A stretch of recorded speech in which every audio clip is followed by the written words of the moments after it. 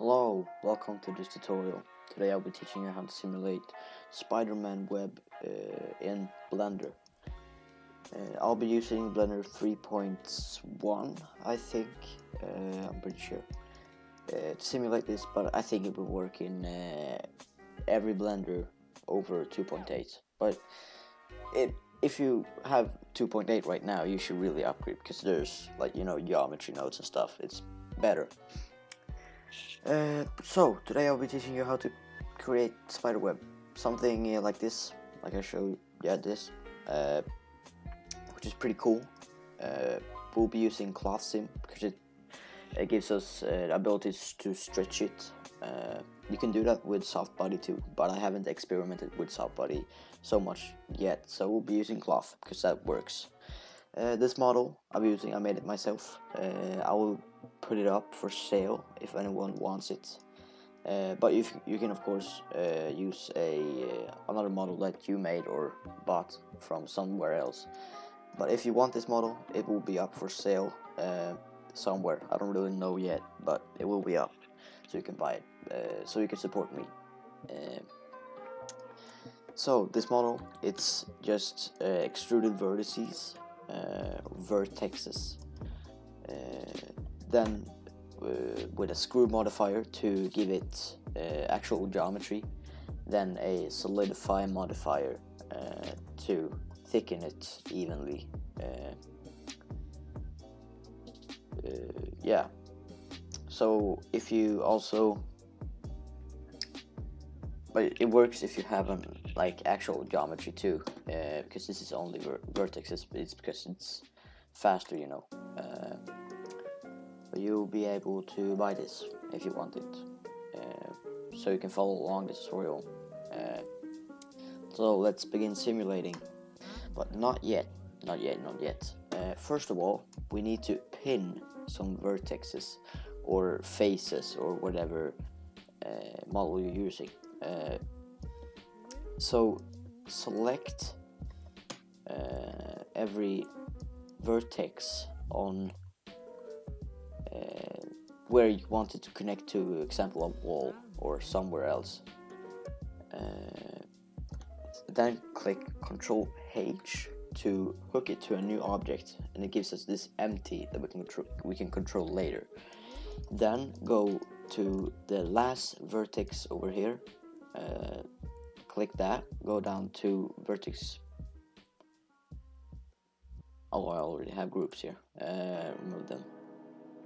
Object data properties. Make a new group, assign it. Uh, now it knows that it that we're gonna keep these vertices uh, at the same place.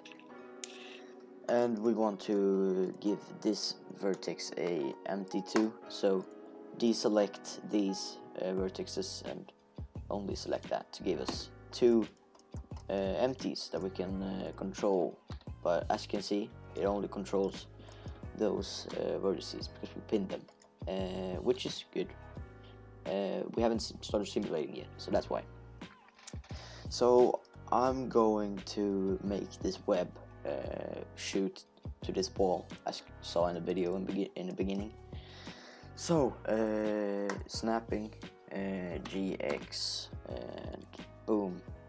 Oh, I forgot. No, no, no, no, no. We need to add a keyframe here first, and maybe five frames later. Ten. Nah, five. Let's. Mm, let's, let's go. Ten. It's gonna be a slow web. I don't really know yet. Then set that to linear because you we want do we don't want it to slow it that slow down at the end. We want it to go in a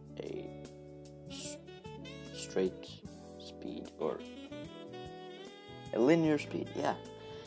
So now that we have this, we can start simulating cloth. So go into the simulation tab. What is it called? Physics properties cloth, quality steps up to 10, linear, and then the stiffness, uh, which this means. Uh, set that to 50 because 15, uh, 15 is too low. It's gonna bounce everywhere, uh, and we don't want it. We want some stiffness in the web so it doesn't freak out. Go down to shape, uh, enable this group we pinned earlier, and we should be good to go. Uh, let's just see if it's working. I'm sorry if my computer is a little bit slow. But yeah, it doesn't only stretch one vertex, it brings all the other vertices along. So now we're ready to bake, and this is basically the simulation. It's uh, pretty uh, simple. But if you want uh, the wall to interact with the web, add a collision uh, modifier to the wall. And you don't really need to change anything. This is my settings because uh, it worked for me. But it depends on your scene. Uh, let's go down to uh, cache and bake all dynamics. So we're back.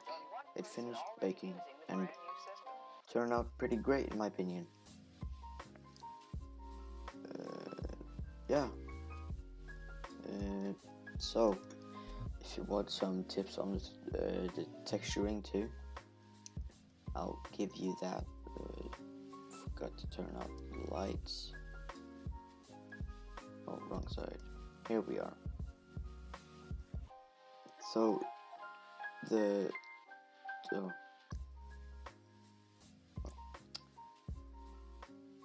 the texturing is pretty simple. It's procedural too, so you don't need any image textures uh, or anything like that.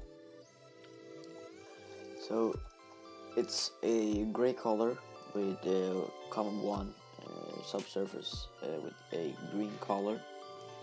Um, and uh, specular high, anisotropy high, roughness low because we wanted to reflect light a lot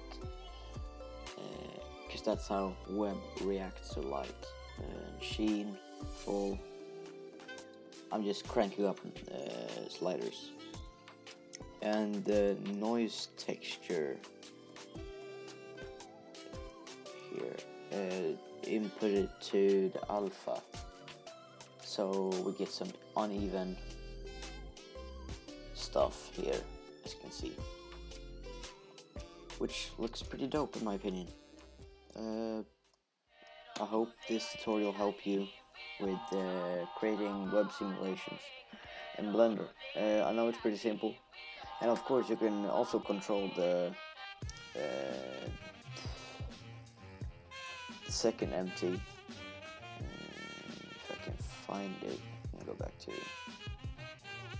here can of course control this too and put it on on your like web shooter or your Spider-Man model if he's swing, swinging between buildings uh, so yeah I hope this tutorial helped you.